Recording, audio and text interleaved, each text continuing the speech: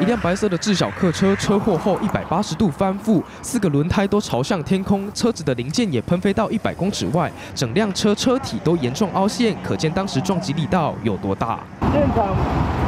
对一个欧卡，然后一个受伤，然后其他看起来都没事。救护人员到场后，发现两名民众躺卧在车道上，一名女子已明显死亡，另一名男子则是命危，在往医院急救后宣告伤重不治。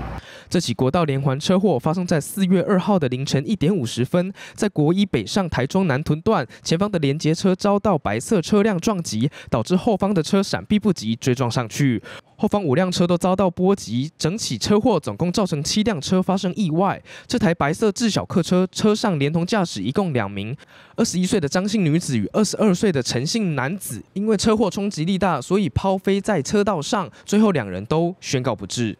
经初步调查，取等驾乘驾的车辆哦，于案发地点不明原因因先撞击前方的连接车后，遭后方的小客车撞击肇事啊。详细的经过还有肇事责任，仍在调查厘清当中。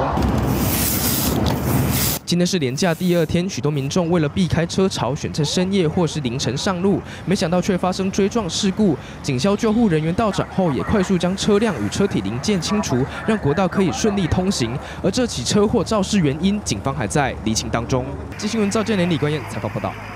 立刻下载“静新闻 ”App，一手掌握新闻时事，尽善尽美，尽好新闻。